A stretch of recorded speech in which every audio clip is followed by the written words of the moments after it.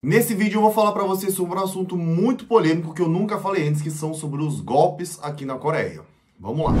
Primeiramente, seja muito bem-vindo a esse canal. Eu nunca falei sobre esse assunto, né? Porque durante muito tempo eu tive que pensar bastante, digerir todo esse assunto, é, porque não é um assunto muito fácil de você poder conversar. É, mas recentemente, comigo mesmo também está acontecendo muitos casos que as pessoas vêm comentar, pessoas vêm perguntar se isso é golpe ou não. Essa romantização dos coreanos, da cultura coreana, o que, que eu acho. É, durante muito tempo eu não falei sobre esse assunto e hoje eu vou falar com vocês e compartilhar um pouco do meu pensamento que eu tenho sobre esse assunto. Vamos lá. Primeira coisa que perguntam bastante para mim, Jisuke, o que, que você acha sobre essa romantização dos coreanos, né? De começarem a achar os coreanos lindos, a cultura linda e tudo mais. De primeira instância, eu acho uma coisa muito positiva. Por quê? Durante muito tempo, os orientais nunca foram vistos como um, um padrão de beleza. Como assim? Antigamente existiam as pessoas bonitas, as pessoas médias, as pessoas feias e os orientais. Né? Então os orientais eles não entravam nenhum desses termos, nenhum desses, dessas categorias aqui. Eles eram tudo aquela coisa meio parecida. E ainda hoje também tem gente que manda mensagem para mim falando: "Ah, você é o Pyong, ah, você é tal pessoa, você é o Daniel, você é o Gabriel". Tem muita gente que me pergunta: "Mas não, eu sou o Jisoo". Mas por que que eu acho que isso é um ponto positivo? Porque agora as pessoas estão começando a saber diferenciar uma pessoa da outra, um coreano do outro. E agora eles estão até achando alguns coreanos bonitos. Mas qual que é o ponto negativo disso? O ponto negativo é que as pessoas começam a endeusar os coreanos. Isso aí já começa a ser um problema para mim. Por quê? Eu acho legal quando você gosta de uma cultura nova, quando você se apaixona por um país, por uma cultura, eu acho isso muito legal. Porque durante muito tempo a cultura japonesa foi muito aclamada, a europeia, a americana, independente. Sempre tinha um país que tomava um pouco à frente dessa cultura que o pessoal gostava naquela época. E agora acredito que por causa dos K-dramas, por causa do K-pop, essa influência começou a ficar um pouco mais ativa e começou a ficar mais focada nos coreanos. Só que a brecha disso é que começou a ter pessoas que começam a querer usar isso para o lado negativo, como sempre acontece a maioria dos próprios coreanos não fazem esse tipo de golpe. Normalmente os golpes que vocês recebem na, pelo por DM de mensagem falando, ah, eu sou tal famoso, né? Durante uma época era muito comum as pessoas falarem, ah, eu sou o Park ah, eu sou o Park São João, né? O Park Seo-jun, ah, eu sou o Lee Min-ho, e esse daqui é uma, uma, uma, uma conta que eu tenho só para pessoas próximas e tal. E depois, durante o tempo, foi aqui o pessoal do BTS. Se você já teve uma experiência assim, deixa nos comentários, porque eu já vi muita mensagem assim. E depois, o que, que começa a acontecer? As pessoas mandam mensagem para o pessoal em português, ou mandam alguma mensagem em coreano, mas aquele coreano bem de Google Tradutor mesmo. E qual que é o problema que isso começa a acarretar? Os golpes. Ninguém, para que que os meninos do BTS, para que que esses atores super famosos vão precisar do seu dinheiro. Eles já são muito ricos, a maioria são milionários, quem sabe até bi. Eles não precisam dos seus mil, dois mil, três mil reais para ter que enviar um pacote de presente para vocês. Coloca isso na sua cabeça. Só que agora a estratégia mudou um pouco, porque eles estão começando a perceber: ah, realmente, os, os famosos não vão mandar mensagem para mim, e ainda mais em português. Então, o que, que eles começaram a fazer? Pegar pessoas comuns como eu, como outras pessoas comuns, ou até pessoas que não são é, influenciadores, não têm uma rede social muito grande. Ele procura aleatoriamente Instagram de homens ou mulheres que são coreanos ou que têm a aparência oriental, pega aquilo e começa a fingir que é uma pessoa comum.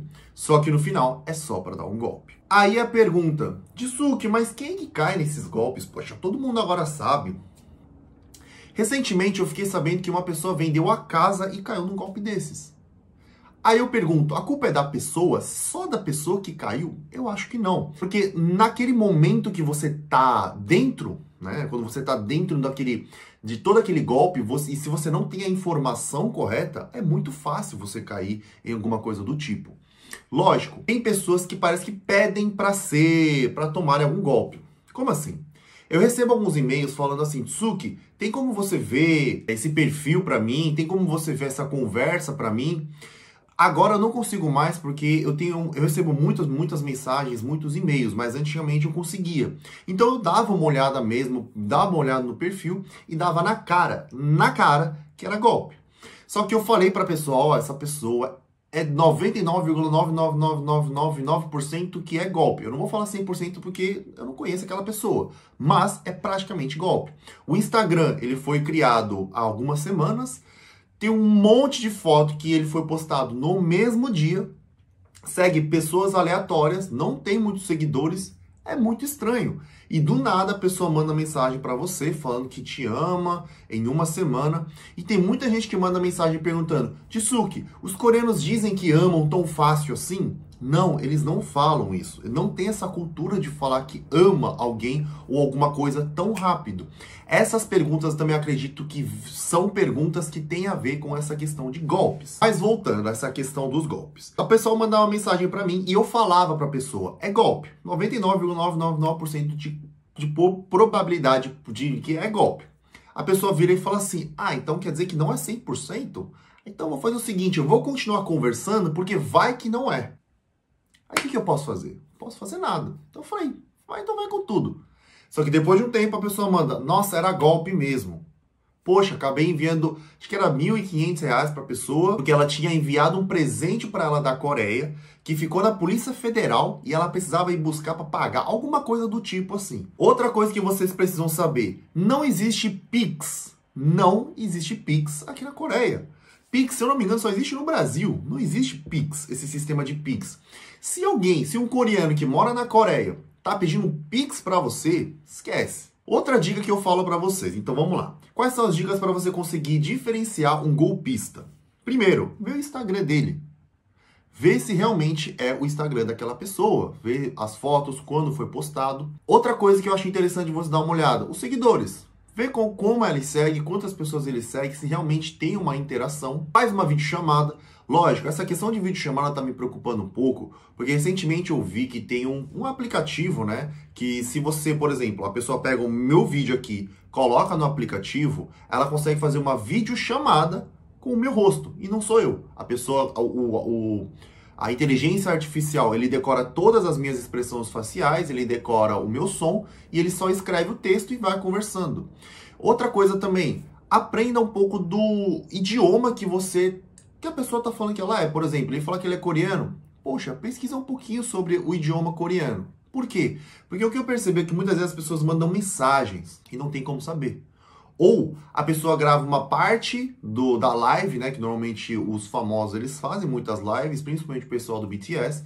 Ele pega uma parte da live e ele vai colocando para como se ele estivesse gravando ali na hora. E aí, se a pessoa realmente não acompanha aquele grupo 24 horas, ele vai, a pessoa vai achar que, pô, ele tá gravando agora para mim, mandando mensagem. Cara, é o team do BTS. Ah, não, é o RM, é o V. Cara, não esquece. Tudo isso daqui eu sei que é meio chato, mas eu acho que é necessário para vocês começarem o final, o, o, o, ano que vem já, né, com o pé direito, não cair em nenhum golpe e que no ano que vem essa, essa coisa de golpe, essa coisa de conta fake realmente possa desaparecer. Por que, que essa coisa continua aparecendo? Porque as pessoas continuam caindo. E enquanto essa, essa, esse crescimento na, na, na cultura, na, na, essa atenção que o pessoal for dando para os coreanos e a falta de informação continuar crescendo, esse tipo de golpe vai acontecer. Por isso, tomem cuidado com as pessoas que vocês conversam pela internet. Sabe aquele papo de mãe que, que, os, que os pais falavam assim: ó, oh, não vai seguir qualquer pessoa que você não conhece, não aceite nada de quem você não conhece. É a mesma coisa. Não aceita link. Tipo, tem gente que aperta link que mandou, ah, eu tô, vou apertar. Gente, não faz isso. Existem uma diversas formas para hackear o seu celular, tirar dinheiro. Então não faz isso. Então, não confie em qualquer pessoa que você encontra pela internet. Não confie em vídeo chamada. Mesmo que a pessoa mostre o rosto para você, cara, toma cuidado. O que, que você acha que as pessoas não fazem para conseguir um dinheiro a mais? Então, toma cuidado. Essa questão de golpe é muito, muito, muito perigoso. Por isso que eu acho muito importante você compartilhar esse vídeo aqui no grupo com as pessoas que você sabe que você tem um carinho muito grande e não quer que caia nesse tipo de golpe. Porque se a pessoa gosta de um pouco de K-drama ou gosta da cultura oriental ou de qualquer outro tipo de é, ou de qualquer outro entretenimento que sai, que seja fora do Brasil, ela está ela tem a probabilidade de cair algum golpe do tipo, porque aí a pessoa pode até fingir não ser coreano, mas pode fingir ser alemão, pode fi, fingir ser espanhol, pode fingir ser americano, não importa. Por isso, compartilhe ao máximo esse vídeo para que as pessoas possam se alertar. E você também, cuidado. Quem está dentro de uma relação como essa não percebe. Se as pessoas ao seu redor começarem a te falar, cara, toma cuidado, tome cuidado mesmo, seja um pouco mais crítico. Hum, cuidado com essa romantização, tá? Eu acho bom você gostar, eu acho bom você ter aquilo como entretenimento, mas se aquilo em qualquer momento te fizer um mal, tem que tomar cuidado, tá bom? Então esse foi o conteúdo que eu preparei para vocês essa semana. Eu sei que não é um pouco diferente daquilo que eu faço normalmente, mostrar diferenças culturais, mas acredito que esse é um assunto que eu acho muito importante, que eu precisava falar com vocês.